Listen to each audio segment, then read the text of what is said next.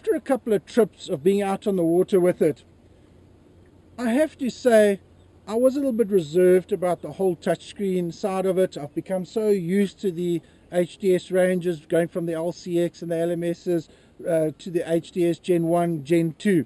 And now with the touch, I thought it would be a little bit strange for me. But I can't believe how quick I adapted to using this the screen.